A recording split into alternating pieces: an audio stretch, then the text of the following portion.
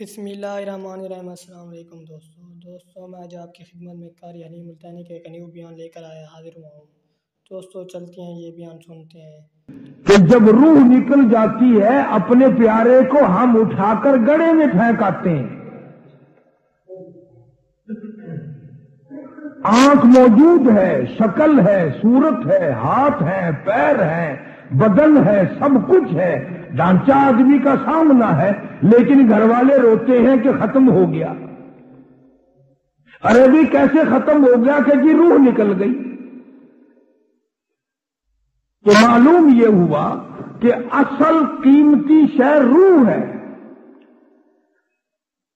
روح کے بغیر بدن بیکار، جسم بیکار آزا بیکار، شکل صورت بیکار۔ بیکار سمجھتے ہیں جبھی تو گھر والے پھینک کے آتے ہیں۔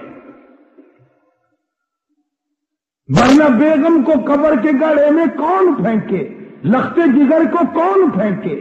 پیاری والدہ کے اوپر مٹی کون ڈالے؟ وہ محبوبہ اور وہ بیگم جس کے چہرے پہ کبھی گرد کا داغ دیکھنا گوارا نہیں کیا، دھڑا در مٹی کون ڈالے؟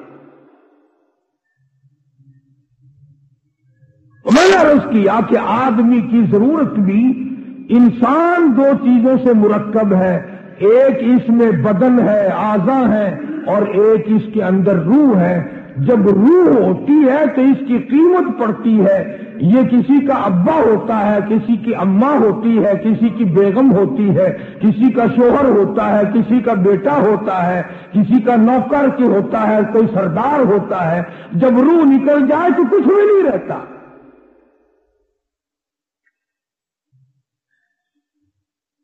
تو ضرورت بھی دو قسم کی ہے ایک بدن کی ضرورت ہے اور ایک روح کی ضرورت ہے۔ بدن کی ضرورت ہے روٹی۔ کھانا نہ ملے تو آدمی تنگ ہو جاتا ہے بھوک لگتی ہے پیٹ میں۔ پانی نہ ملے تو پیاس لگتی ہے۔ ٹھنڈ نہ ملے تو گرمی لگتی ہے۔ میں اگر گرمی میسر نہ آئے تو ٹھنڈی ستاتی ہے۔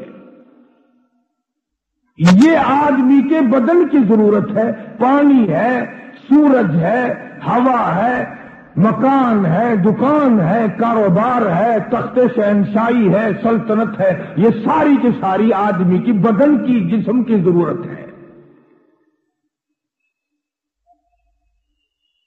جب بدن کی اتنی ساری ضرورتیں ہیں اور حاجات ہیں، تو روح کی جو اصل چیز ہے، جو قیمتی شے ہے۔ ایک اور طریقے سے میں آپ کو بات سمجھاؤں۔ ہماری عربی زبان میں ظرف کہتے ہیں برتن کو تھا کو، اور مضروف کہتے ہیں اس چیز کو جو اندر ڈالی جائے۔ جیسے شیشی ظرف ہے، اندر کا تیل مضروف ہے۔ تو میں آپ کو بتانا یہ چاہتا ہوں کہ قیمت باہر کی نہیں لگتی، اندر کی چیز کی قیمت لگتی ہے۔ بوتل ہے، خالی بوتل کی قیمت آٹھ آنے۔ اس میں شربت بنا کر بھر دو تو قیمت بیس روپے۔ اس میں تیل بھر دو تو پندرہ روپے۔ اور اگر اسی شیشی میں کوئی اعلی درجے کی کیمیائی دوا بھر دو تو ہزاروں روپے اور اگر کستوری بھر دو تو لاکھوں کروڑوں روپے قیمت بڑھی گھٹی اندر والی چیز کے حساب سے، اگر سرسوں کا تیل اندر ہے تو معمولی قیمت، اگر پانی میٹھا شربت اگر اندر ہے تو معمولی قیمت اور اگر اس بوتل میں عطر ہے، خوشبو ہے سافران کا عطر ہے، گلاب کا ہے، ہنا ہے، چمیلی ہے، گلاب ہے رات کی رانی ہے اور کستوری ہے، امبر ہے، تو اس بوتل کی قیمت لاکھوں کے حساب سے جا بنتی ہے۔ تو گویا قیمت اندر کی چیز کی لگتی ہے، باہر کی نہیں۔ یہ پھل فروٹ لے لیں آپ۔ اندر کی چیز کھا کر اگر کیلے کا چھلکا کوئی کسی کو بیچے کوئی خریدتا ہے۔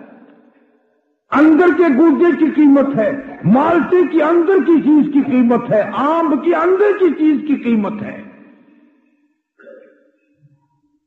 تو آدمی کے اندر جو روح ہے، اصل قیمت اس کی ہے۔ ہر شخص ابا کہہ کر بلاتا ہے جب تک روح ہو، امی کہہ کر بلاتا ہے، بیگم صاحبہ سمجھ کر پیار کی نگاہوں سے دیکھتا ہے، بیٹی سمجھ کر دیکھتا ہے، بیٹا سمجھ کر پیار کرتا ہے، روح نکل گئی، کوئی دیکھنے کو تیار نہیں۔ تو جیسے میں نے عرض کیا کہ بدن کی بھی ضرورتیں ہیں آزا کی ضرورتیں ہیں، اسی طرح سے روح کی بھی ضرورت ہے۔ روح بھی مردہ ہو جاتا ہے، روح مر جاتا ہے، روح ذلیل ہو جاتا ہے۔ ارشاد فرمایا، مدنی کریم صلی اللہ تعالی علیہ وسلم نے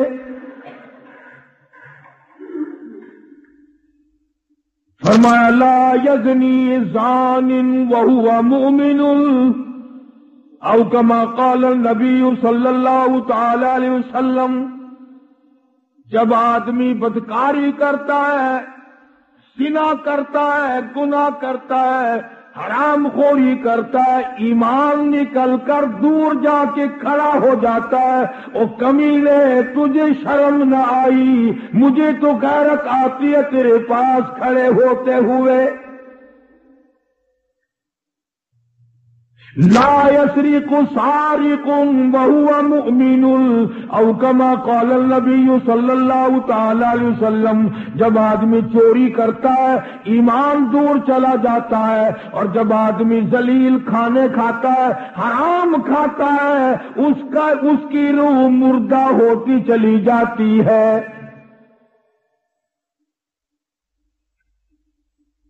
روح کی ضرورت ہے اللہ کا ذکر۔ روح کی ضرورت ہے نماز، روح کی ضرورت ہے نیت کا صاف اور صحیح کرنا۔ چنانچہ جس زمانے میں لوگوں کی نیتوں میں خیر ہے، پھر سارے معاملات میں خیر ہی خیر ہے۔ جس زمانے کے لوگوں، عوام اور حکام چھوٹے اور بڑے، امیر اور غریب، مرد اور عورتوں کی نیتوں میں فطور ہے، سارے معاملات میں پھر فطور ہے۔ اس لیے قرآن کریم نے للکار کی آواز دی، فرمایا، ظہر الفساد فی البر والبحر۔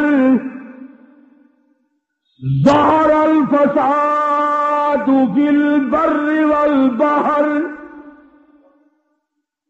فساد مچ گیا، زمین میں، زمان میں، خشکی میں، تری میں، محلے میں، بازار میں فساد ہے، فتنہ ہے۔ فرمایا، بیمار کا سبق آئی دن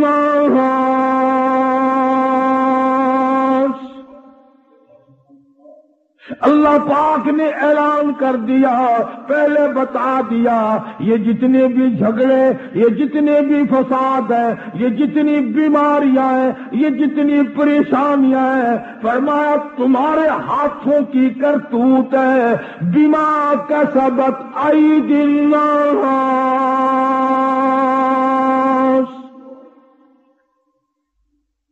اللہ پاک کہتا ہوں لوگوں میں تم پہ ظلم کرنے کو تیار نہیں، او لوگوں میں رحیم ہوں، ظالم نہیں۔ میں کریم ہوں، متشدد نہیں۔ میری ذات تیرے سارے عیب دیکھتے دیکھتے قبروں تک مجھے اپنی کبریائی کی قسم میں نے تیرے سارے عیب چھپائے۔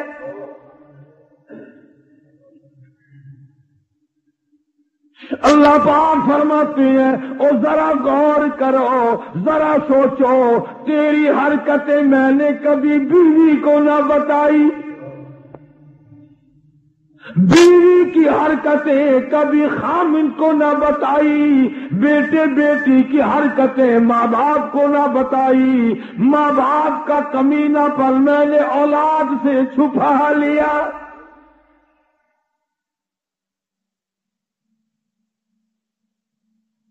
فرمایا تمہاری نیتوں پہ سارا مدار ہے، تمام نیتوں پہ معاملات کا بننا ہے۔ فرما، ظہر الفساد فی البر والبحر۔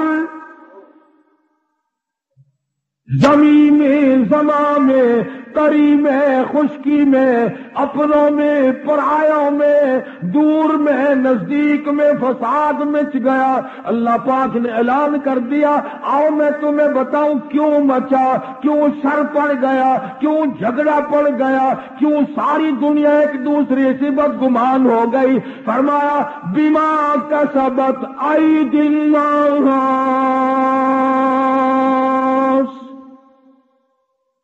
اور لوگوں میں ظالم نہیں، تیری کرتوت ہے، تیری بدامالی ہے، تیری نیت کی خرابی۔ الہی، آخرت میں سزا دینا تھا، یہاں کیسی سزا آ گئی؟ فرمایا، لیو دی کہوں ہائے ہائے۔ فرمایا، میرے بندے، اب بھی میں جھٹکے تھوڑے تھوڑے اس لیے دیتا ہوں، شاید تو شرما جائے۔ شاید تو میرے دروازے پہ جھک جائے، شاید تجھے غیرت آ جائے، دن کو یاد آ جائے، شام کو یاد آ جائے۔ اور فرمایا، میرے بندے تجھے اپنے رب کا جب بھی خوف آئے، جب بھی ڈر آئے، جب بھی میرے قہر سے تو ڈرے، رات میں دل میں، صبح میں، شام میں، جس وقت تیرا دل کرے، توبہ کرنا تیرا کام ہے۔ تجھے دریائے کرم کے گوتے میں پا کر دینا میرا کام ہے۔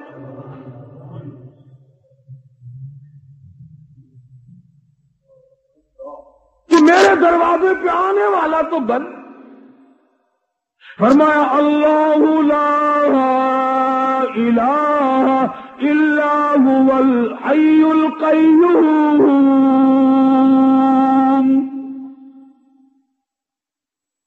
جس وقت تیرا دل کرے، کرایہ خرچ کرنے کی ضرورت نہیں بھاڑے لگانے کی ضرورت نہیں، کسی کا ترلا کرنے کی حاجت نہیں۔ کوٹڑی میں پڑے پڑے، گھر میں بیٹھے بیٹھے، جب تیرے دل میں میری یاد آئے، زبان تیری ہو، یاد میری ہو وہ سال کا عبادی انی فنی کری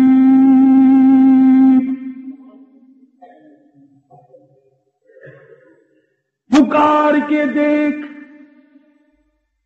کسی سے آپس میں ایک دفعہ لڑ پڑو گے، صلح کرنے جاؤ گے، پہلے میرا مارے گا، تو وہی ہے جس نے یوں بکواس کی تھی، جس نے میری ساتھ یوں کیا تھا۔ فرمایا، میرے بندے، اگر آتے ہوئے کو تجھے میں دھکا دے دوں، تجھے سینے سے کون لگائے گا؟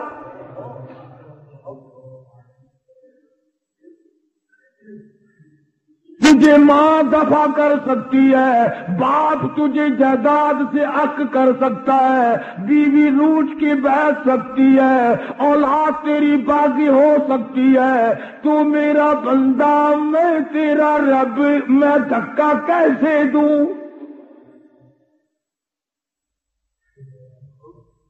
ساری دنیا کے لوگ تجھے چھوڑ سکتے ہیں۔ میں کیسے چھوڑوں؟ تیری اما سوئی رہتی تھی، ابا سویا ہوتا تھا، دادی سوئی تھی، نانی سوئی تھی، سارا خاندان سویا کرتا تھا۔ مجھے اپنی کبریائی کی قسم، میں ساری ساری رات تجھے اپنے دونوں ہاتھوں سے بلایا کرتا تھا۔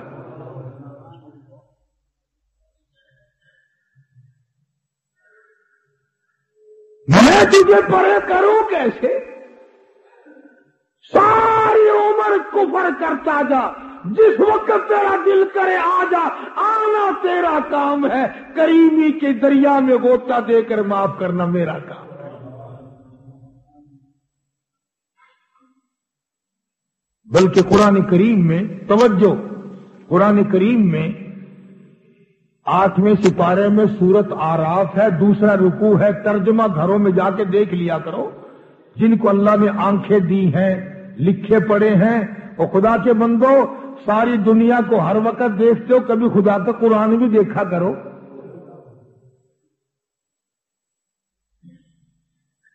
سورت آراب کے دوسرے رکو میں شیطان نے قسم کھائی۔ شیطان نے قسم کھائی کہ مجھے تو تو نے پھٹکارا ہی ہے، پر میں بھی من بین ایدیہم و من خلفیہم۔ قرآن کے لفظ ہے۔ شیطان کہتا من بین ایدیہم و من خلفیہم، میں دائیں سے آؤں گا، بائیں سے آؤں گا، وعن شمالہم وعن یمینہم۔ چاروں طرف سے آؤں گا، پھسلاؤں گا، تیرے بندوں کو بہکاؤں گا۔ بلا تجد اکثر ہوں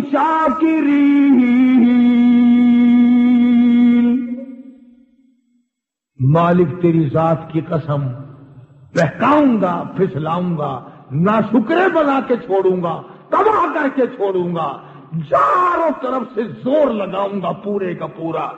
اسی سپارے میں، اسی رکو میں، اگلی ایت میں اللہ پاک نے قسم کھائی، مقابلے میں۔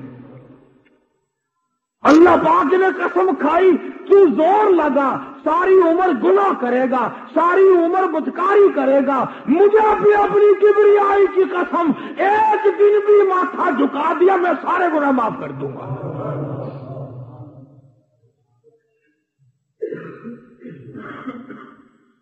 ایک دن بھی میرے دروازے پہ آ گیا نا، پکا ہو کر۔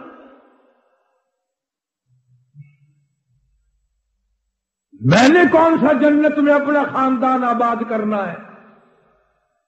میں نے کون سی جنت اپنے ووٹ دینے والوں کے حوالے کرنی ہے؟ اور بنائی تو تیرے لیے ہے نا؟ بنائی تیرے لیے۔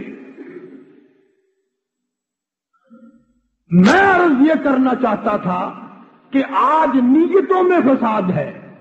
اللہ تبارک و تعالیٰ نے فرمایا، یہ تجھے بیماریوں کے جھٹکے یہ مقدموں کے جھٹکے، یہ بندوں کے دیے ہوئے جھٹکے میں تجھے اس لیے لگاتا ہوں لیو دی کہوں باغی عاملو لعلہم یرجعون اللہ جل شانو فرماتے ہیں، اس لیے میں تجھے یہ جھٹکے لگاتا ہوں تاکہ تو جھٹکے کھا کر پھر میری طرف آ جائے۔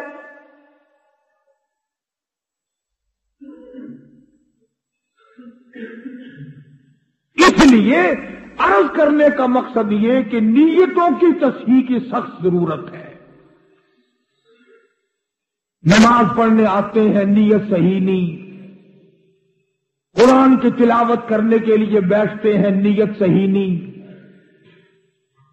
دل ہمارا کہیں اور ہوتا ہے، نماز ہماری مسجد میں ہوتی ہے۔ مصیبت یہ ہو گئی کہ ہم لوگوں نے اس اس بات کو اپنے دماغ میں جگہ نہ دی۔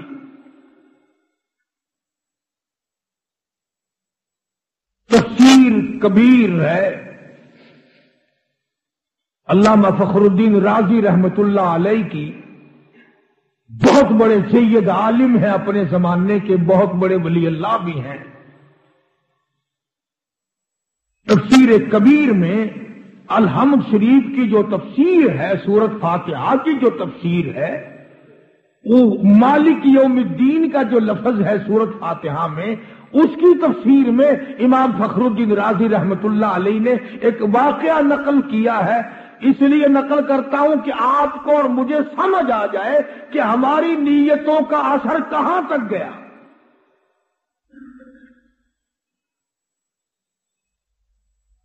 امام فخر الدین راضی رہی محلہ لکھتے ہیں نوشیرواں بادشاہ عادل اپنے زمانے کا مشہور بادشاہ ہے۔ وہ اپنے ساتھیوں کے ساتھ شکار کے لیے گیا۔ اور جنگل بھی ابان تھے گھنونے جنگل تھے، ساتھیوں سے بچھڑ گیا۔ موٹریں نہیں تھی وائرلس نہیں تھی، ٹیلی فون نہیں تھے۔ یہ نظام اس وقت کہاں تھا؟ سادہ نظام تھا۔ بادشاہ اپنے سارے وزیروں سے، سارے اہلکاروں سے ہی پھٹ گیا۔ گرمی کا دن ہے، ساون بھادو کا موسم ہے۔ سخت پیاس ہے، بڑی تکلیف ہے۔ چلتا چلتا، سفر کرتا کرتا، تھکتا، مرتا، پریشان ہوتا ہوتا۔ ایک آبادی کی طرف آیا تو ٹھنڈا سانس اس نے لیا۔ ایک باغ میں جا نکلا۔ اور باغ بھی اناروں کا ہے۔ باغ بھی اناروں کا ہے۔ اس باغ میں ایک نئی عمر کا لڑکا ہے۔ اسے کیا پتا کہ یہ بادشاہ ہے؟ نہ اس نے بتایا کہ میں بادشاہ ہوں۔ وہ کہنے لگا کرے نوجوان، مجھے بڑی پیاس لگی ہے، میں مسافر ہوں، پردیسی ہوں، بھٹک گیا ہوں، راستہ بھول گیا ہوں، بڑی تکلیف اٹھا کر کے آیا ہوں۔ مجھے کوئی اعلی درجے کی چیز پلا جو تیرے باغ میں ہو۔ اس نے بادشاہ کے سامنے انار کا ایک دانہ توڑا، درخت سے۔ اور اس کا رس نکالا ایک گلاس میں یا برتن میں۔ ایک انار جو اس نے توڑا، اس سے اتنا بڑا گلاس رس کا بھر گیا۔ بادشاہ دیکھ رہا تھا، بیٹھا ہوا۔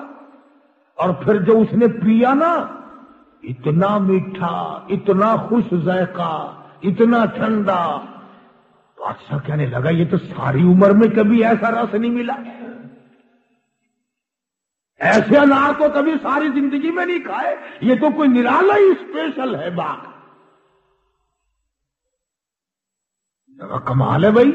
ہم بادشاہ ہو کر کے سکھے پکے کھاتے ہیں، یہ جاتی ہو کر ایسے انار کھاتے ہیں۔ میں تو بادشاہ ہوں، ابھی گھر جا کر آرڈر کروں گا، یہ باغ ہم اس سے چھین لیں گے، قبضے میں لے لیں گے۔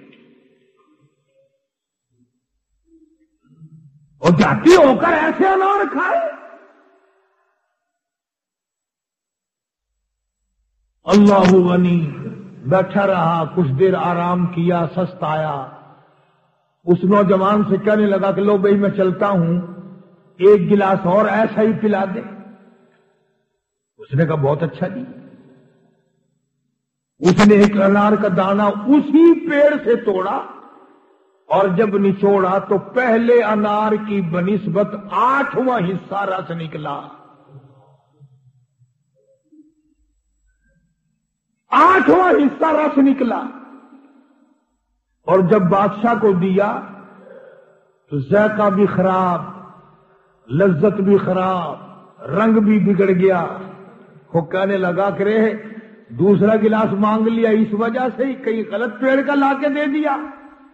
وہ جو پہلا گلاس دیا تھا، وہ کو تم نے اسپیشل درخت رکھا ہوا ہے اسپیشل پیڑ رکھا ہوا ہے۔ یا اور کہیں سوکھے نال کا لا کے دے دیا۔ وہ نوجوان کہنے لگا، مسافر جی اللہ پاک کی قسم ہے، درخت تو کیا میں نے تو ٹینی بھی نہیں بدلی۔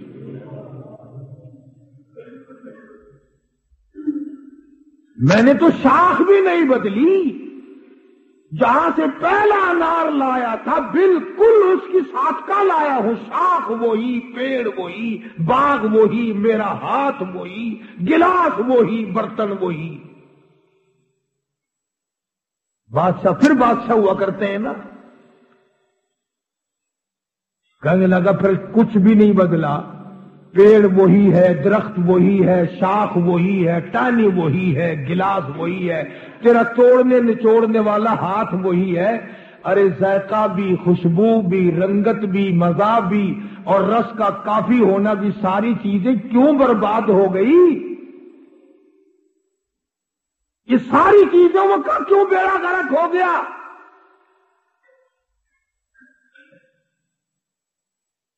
اس باپ کے مالک کا نوجوان معصوم بچہ کہتا ہے مسافر جی ایسا معلوم ہوتا ہے اس ملک کے بادشاہ کے دل میں فرق آ گیا۔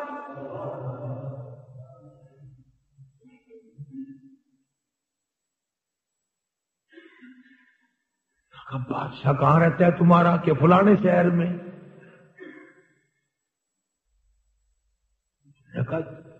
وہاں بیٹھے دل میں فرق آیا کہ ہاں تجھے کیسے پتا چلا؟ اب میں اگلی بات بتاؤں نا، خدا تم عربی سمجھو اور تمہارے دلوں میں سرکار مدینہ سب کہہ دو صلی اللہ علیہ وسلم کا عشق ہو، خدا کی قسم تمہارے جگر پھٹ جائے۔ راجا اتنا شدید دھواں رکھتا ہے کہ باغ کا رس بھی جل گیا، خوشبو بھی جل گئی، لذت بھی جل گئی۔ اور مالک، جب میں ظلم کر بیٹھوں گا تو کیا بنے گی؟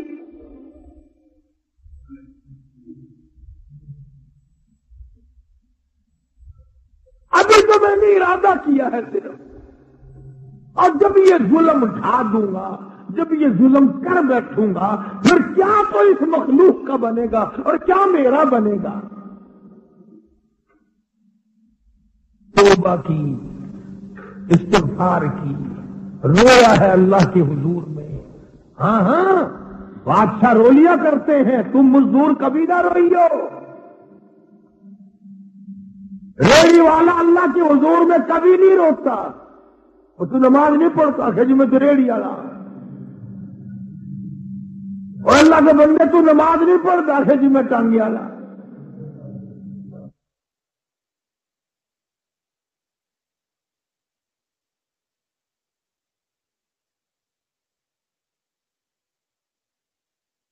اچھا رولیا کرتے ہیں، تم مزدور کبھی نہ روئیو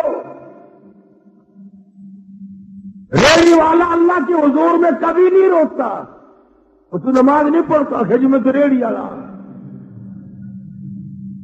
اور اللہ کے بندے تو نماز نہیں پڑھتا کہ جی میں ٹانگی والا۔ اللہ کے بندے تو نماز نہیں پڑھتا کہ جی میں تو دیہڑی مزدوری کرتا، رات کے ٹیلی ویژن دیکھنا مینو کتنے فرصت ہے؟ کدی اسرائیل نو بھی اتنا کہہ کے دیکھنا جب اسرائیل آئے نا، کہہ دینا جی میں تو ریڑی والا۔ ہے وہ دو رگڑے فالتو لگاوے گا۔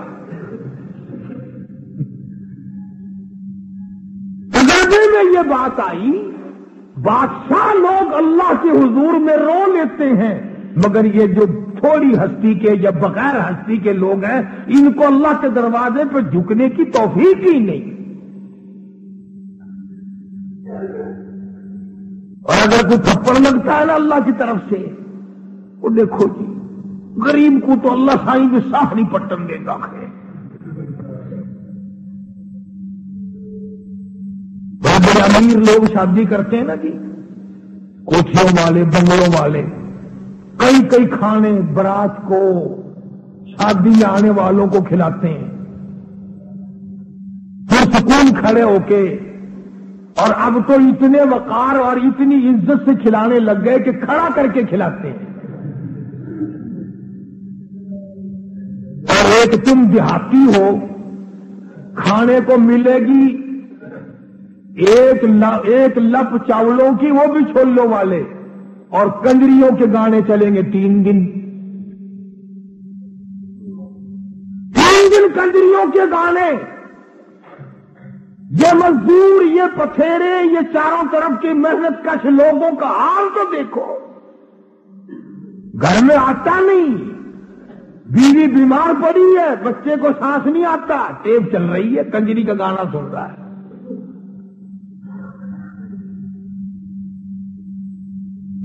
گانے سے پیٹ بھر لو پھر۔ شرم نہیں آتی خیرت کا جنازہ اٹھ گیا۔ بادشاہ لوگ روتے ہیں اور غریب پڑے پڑے بھاگتا ہے۔ میں تو سارے ملک میں پھرتا ہوں نا۔ اب بلکہ کوٹھیوں میں مسلح ہیں۔ کوٹھیوں والے اب قرآن کی تلاوت کرتے ہیں۔ اور مزدور غریب جو ہے وہ پڑے پڑے پڑے پڑے پڑے پڑے چلا گیا۔ جب خدا کے دروازے پہ آتا ہی نہیں تو روے گا کیا؟ پھر کیسا رونا۔ بادشاہ نو شیرواں دل بادشاہ رویا۔ اللہ پاک کی حضور میں توبہ کی، استغفار کی الہی۔ میں ایسا عزم بھی نہ کروں گا، ارادہ بھی نہ کروں گا۔ نیت میں یہ بات کبھی لاؤں گا نہیں، مجھے معافی عطا فرما۔ اس لیے فرمایا، یا ایوہ الذین آمنوا کونوا قوامین بالقسط شہداء شہداء للہ۔ اور لوگوں انصاف کرو، عدل کرو، ظلم نہ کرو۔ بلا یجری ملکم شنآن قوم لا انتا دلو عدل کیا کرو، انصاف کیا کرو، ظلم نہ کیا کرو۔ اب تم سارے سوچ رہے ہوگے، بیٹھے بیٹھے، سبحان اللہ، ہم نے تو کبھی ظلم نہیں کیا کسی پہ۔ میں کہتا ہوں، آدمی کو آج کل سانس نہیں آتا بغیر ظلم کے۔ بس میں بیٹھے ہیں آپ۔ تین آدمیوں کی سیٹ پہ جگہ ہے۔ آپ چوڑے ہو کے بیٹھ گئے۔ دوسرا تھوڑا سا سکڑ کے بیٹھ گیا۔ اب تیسرا بچارا لٹکن کلاس میں ہے۔ ایک گھنٹہ تیری ساتھ اس نے سفر کیا، تو نے اسی میں اس کا حق مار لیا۔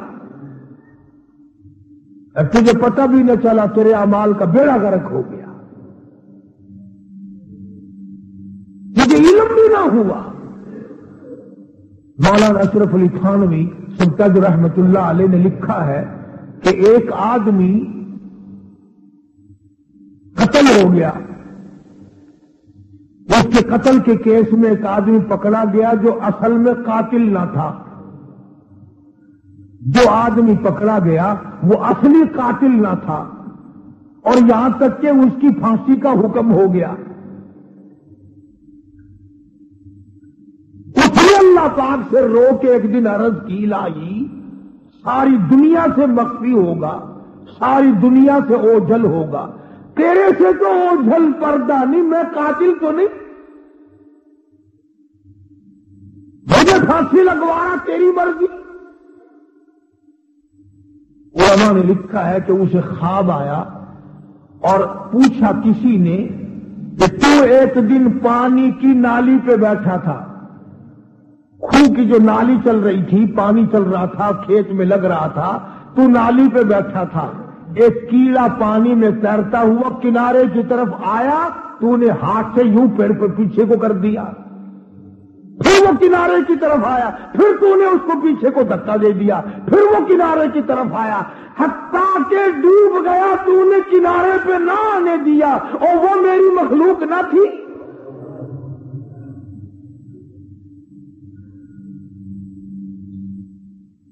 ہے تو تو قاتل، پر مثل دوسری ہے۔ ریکارڈ دوسرا ہے۔ تو نے میرے اس جانور کو کیوں مارا؟ کس گناہ میں مارا؟ کس جرم میں تو نے دھکے دے کر اسے جب تک وہ ڈوب نہیں گیا تو نے اس کی جان نہ چھوڑی۔ جو کہا کرتے ہو نا بیٹھ کے جی پتہ نہیں کیڑے گناہ میں میں پھنس گیا، کیڑے۔ ایسا تو جنید بغدادی گناہ کرتا ہی نہیں۔ سارا دن لوگوں کی بہو بیٹیاں تاڑنی، حرام نگاہ ہے تیری، حرام کان ہے تیرے، حرام زبان ہے تیری، حرام ہاتھ پاؤں ہے تیرے، اور پھر اطمینان کی امید رکھتا ہے۔ و بادشاہ عادل اللہ پاک کے حضور میں توبہ کی، استغفار کی، رویا۔ اپنے گناہوں پہ اللہ کی حضور میں رونا بہت بڑی سعادت ہے۔ اس مزے کو تو کیا جانے؟ تجھے کیا پتا اس لذت کا کہ یہ مٹھاس کتنا اونچا ہے؟ خواجہ حسن بصری رحمت اللہ علیہ نے قرآن کریم کی تلاوت فرمائی، جہنم کا ذکر جو آیا، اتنا رویا اتنا رویا اتنا رویا کہ آنکھوں کا پانی چھت پہ پڑا بہ کر نیچے پرنالے سے ٹپکنے لگا۔ ایک آدمی جو نیچے سے گزرا، اس کی پگڑی پہ آنسو پڑے۔ اس نے آواز لگایا رے کون ہے میرے کپڑے پلیس کر دیے؟ خواجہ حسن روتا ہوا کہنے لگا، واقعی پلیت ہو گئے ہوں گے، میں حسن بصری کے آنکھوں کا پانی ہے۔ اور تو کیوں رویا؟ کہتا، اللہ کے قہر سے ڈر کے رویا۔ وہ بھی قدردان تھا۔ پگڑی لے جا کر کے بیٹی کو گھر میں دی کہ یہ صندوق میں رکھ دے۔ انہوں نے کہا، ابا، کیوں؟ کہنے لگا، تجھے پتا ہے، میں تو ساری عمر نہ کبھی رویا، نہ ایسا رونا آئے۔ حسن بصری کے آنسو اس پہ ٹپک گئے، میرے کفن میں رکھ دینا۔ اللہ پوچھے گا، دنیا سے کیا لایا؟ عرض کروں گا، حسن بصری کی آنکھوں کے پانی والی پگڑی ساتھ لے کے آیا ہوں۔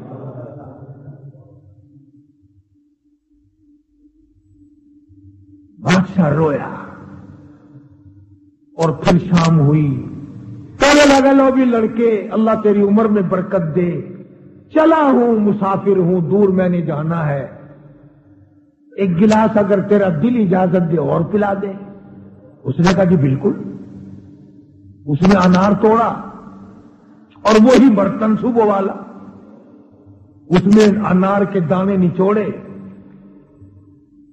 تو دوسرے انار سے زیادہ تو نکلنا ہی تھا۔ اس پہلے انار سے بھی دگنا رس۔ خوش ذائقہ۔ مٹھاس اعلی درجے کا۔ بادشاہ کہنے لگا رہے بھائی، بتا دے یہ کوئی پیڑ تم نے اسپیشل رکھا ہوا ہے؟ الگ انہوں نے کہا، نہیں جی۔ میں نے تو درخت اور پیڑ تو کیا بدلتا؟ میں نے تو اب تک ٹہنی بھی نہیں بدلی۔ تینوں انار وہیں سے توڑے۔ نے کہا پھر نوجوان، یہ کیا رد و بدل ہے؟ نوجوان کہنے لگا، مسافر جی ایسا معلوم ہوتا ہے، اس ملک کے بادشاہ نے ظلم کرنے سے توبہ کر لی۔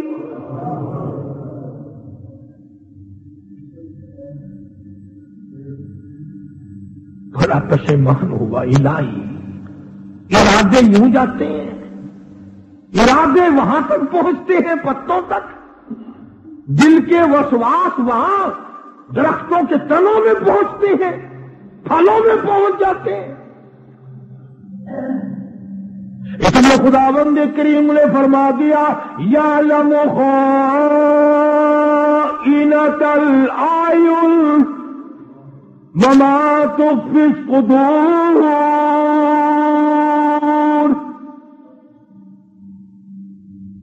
تیری آنکھوں کے اشاروں کو بھی میں جانتا ہوں، تیرے دلوں کے ارادوں کو میں جانتا ہوں، انہی سے اثرات سارے مرتب ہوں گے۔ اور حضرت شیخ سادی رحمت اللہ علیہ نے تو کمال کر دیا۔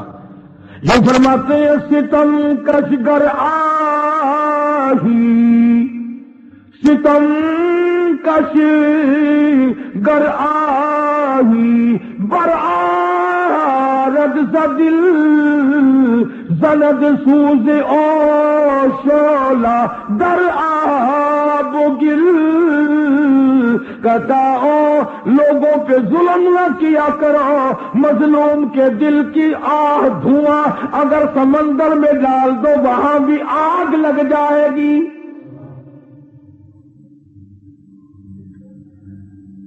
کسی کو ستایا نہ کر کہتا مکن مر تم آزاری اے تم درائی کہ نا گہر سد بر تو کہرے خدائی۔ ڈر اس کے قہر سے، ڈر اس کے غضب سے، ڈر اس کی بندہ نوازی سے۔ وہ تیری رگوں کو مروڑ کے رکھ دے گا۔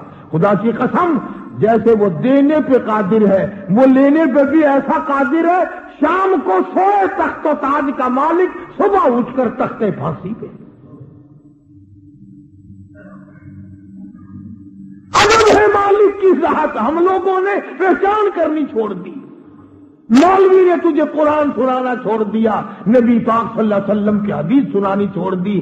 تیرا ذہن جگلالو بن گیا، تیرا دماغ پارٹی بازی کا بن گیا۔ جب تک مولوی کسی کو دو چار گالی نہ دے، تجھے تسلی نہیں ہوتی، تیرا جمعہ نہیں ہوتا، تیرا پیٹ نہیں بھرتا۔ اور خدا کی قسم، یہ ساری چیزیں تجھے قبر میں بڑی مہنگی پڑے گی۔ شادی کہتا مکم برزئی پانی بیچارا زہر۔ مکم برزئی پانے بیچارا زہر بھی اندیش آخر زتنگی یہ گہور